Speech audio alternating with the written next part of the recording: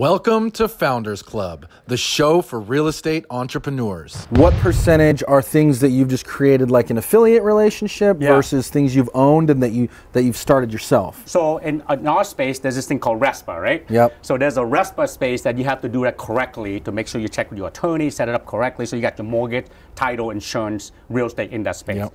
Then outside of that, we set up a lot of rev share. Okay, so you know we revenue share. The reason we like that model, so so the other side you got to set up ownership, partnership. You do that correctly, the mortgage, title, insurance. So that that's the normal Right. stuff.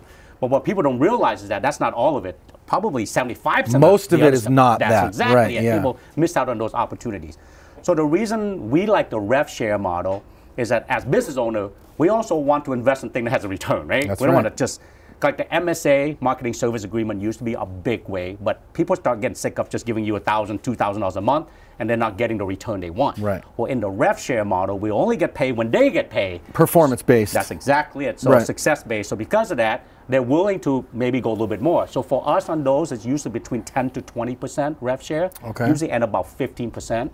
and what kind of companies are you building those rev share relationships with? Everything that ecosystem, moving company, you know, uh, uh, plumbing, photography, video, you know, you name it, anything to, to be in that $84,000 Yeah. ecosystem, which you know, you keep going on and on and on, right? So if someone was, let's say they're either a solo agent or they have a team and they wanted to create a relationship like this, how would they do that? What's what's your process? Yep, we sit down and we discuss this as a business, right?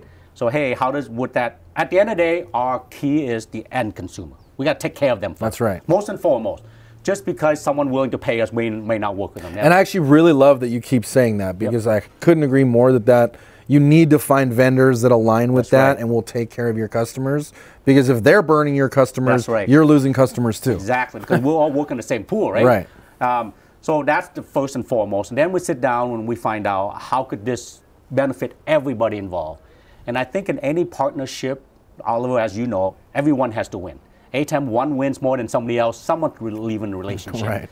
So for us, uh, you know, bring an idea to us, because usually that's where it starts. An agent said, "I got this awesome plumber that I love him. Like, let's sit down and talk. Okay, properly licensed, bonded, great review.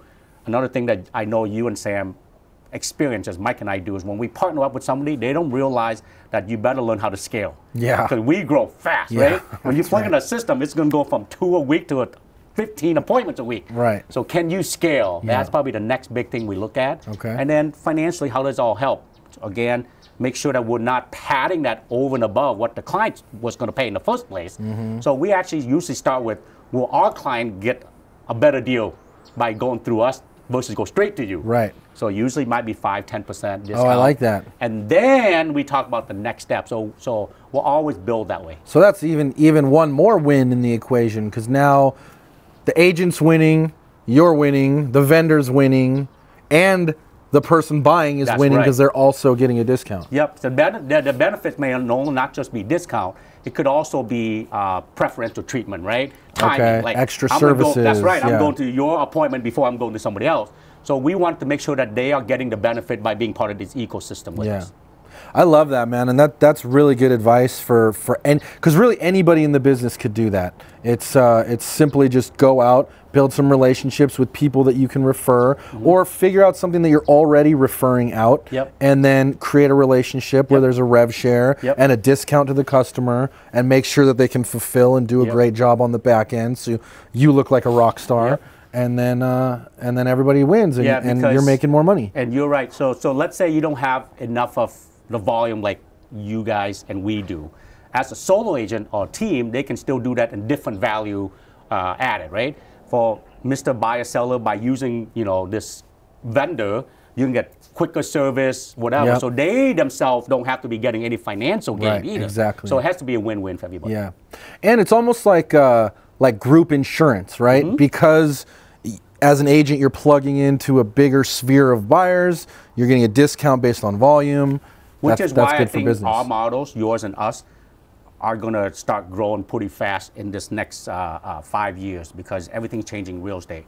And I think merger and acquisition will be bigger and bigger. Mm-hmm. Like a team themselves cannot go out and get an enterprise account, right? Right. From discount, this kind of relationship. Yep. So they can join someone like us and benefit from it while they still run their business Right. without giving up their identity or their goals, right? So the team rich model. So I love again, it could be team a rich. solo agent, could be a team. Essentially, you're going to partner with somebody to get all the big company advantages Yep. while running your your business, you know, um, you know, on your own. And doing you. yep, yep, and have the uh, the uh, you know autonomy. To listen to this full Founders Club interview, go to foundersclub.tv.